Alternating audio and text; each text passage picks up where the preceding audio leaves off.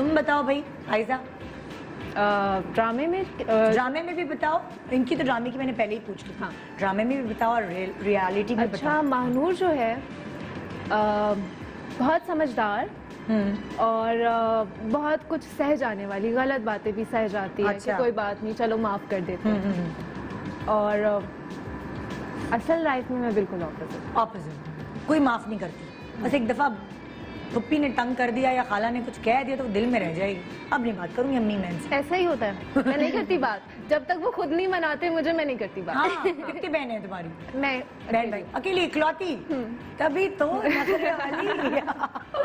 मैं इकलौती हूँ। हाँ। लेकिन अगर कोई मुझे हर्ट करता है या कुछ भी किसी की कोई बात बुरी लगती है हम्म, तो मैं नहीं माफ़ तुम दिल से नहीं निकाल सकते। चाहे कि तुझे कोई फरियाद कर ले हाँ।